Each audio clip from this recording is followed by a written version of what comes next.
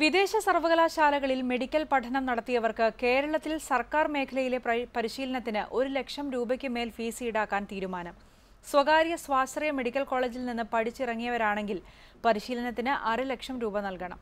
വിദേശ ബിരുദമുള്ളവർക്ക് രജിസ്ട്രേഷന് സർക്കാർ ആശുപത്രിയിൽ നിന്നുള്ള ഒരു വർഷത്തെ പരിശീലനം നിർബന്ധമാണ് എന്നതിനാൽ പുതിയ ഉത്തരവ് തിരിച്ചടിയാകും. വിദേശ സർവകലാശാലകളിൽ നിന്ന് മെഡിസിൻ പഠനം പൂർത്തിയാക്കി വരുന്നവർ ഇന്ത്യയിൽ പ്രാക്ടീസ് ചെയ്യണമെങ്കിൽ ആദ്യം നാഷണൽ ബോർഡ് പരീക്ഷ പാസ്സാകണം. ശേഷം മെഡിക്കൽ കൗൺസിൽ താൽക്കാലിക രജിസ്ട്രേഷൻ എടുക്കണം. സ്ഥിര രജിസ്ട്രേഷൻ കിട്ടാൻ ഇവർ സർക്കാർ ആശുപത്രികളിൽ പരിശീലനം തേടണം. ഈ പരിശീലനത്തിനാണ് ഇപ്പോൾ ഒരു ലക്ഷത്തി പന്ത്രണ്ടായിരം രൂപ ഫീസ് നിശ്ചയിച്ച് ഉത്തരവിറക്കിയത്. സ്വാശ്രയ മെഡിക്കൽ കോളേജിൽ നിന്നിറങ്ങിയവരാണെങ്കിൽ അറുപതിനായിരം രൂപ അടയ്ക്കണം. തീർന്നില്ല. ഡി എൻ ബി വിദ്യാർത്ഥികൾക്ക് പോസ്റ്റ്മോർട്ടം കണ്ടുപഠിക്കാൻ ഒരു വർഷത്തേക്ക് ഇരുപത്തി രൂപ ഫീസ്. വിദേശ മെഡിക്കൽ സർവകലാശാലകളിലെ വിദ്യാർത്ഥികൾ സർക്കാർ ആശുപത്രികളിലെ ചികിത്സാരീതികൾ കണ്ടുപഠിക്കാൻ ഓരോ ചികിത്സാ വിഭാഗത്തിലേക്കും പതിനായിരം രൂപ എന്ന നിലയിൽ മാസം തോറും പണമടയ്ക്കണം.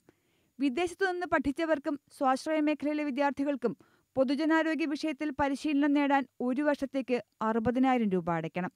കേരളത്തിലെ സർക്കാർ മെഡിക്കൽ കോളേജുകളിൽ അസിസ്റ്റന്റ് പ്രൊഫസറാകാൻ ആഗ്രഹിക്കുന്നവരാണെങ്കിൽ സർക്കാർ ആശുപത്രികളിൽ സീനിയർ റെസിഡന്റായി ഒരു വർഷമെങ്കിലും ജോലി ചെയ്തിരിക്കണമെന്ന നിബന്ധനയുണ്ട്.